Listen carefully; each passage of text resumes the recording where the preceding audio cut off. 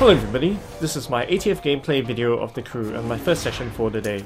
In this session I continued in the mountain states where my last session ended when the game crashed, um, so I went about doing some new skill challenges and um, I didn't spend too much time on them because um, they were not exactly easy and the impact levels weren't that great so they wouldn't really be um, um, upgrading my cars that much even if I uh, completed platinum medals for them. So I didn't spend too much time retrying them and I joined the East Coast Player versus Player Free for All race lobby and did about three races there against other players. And um, the race that stood out was the Long Island Speedrome Circuit Spec race, which I've done only just once before.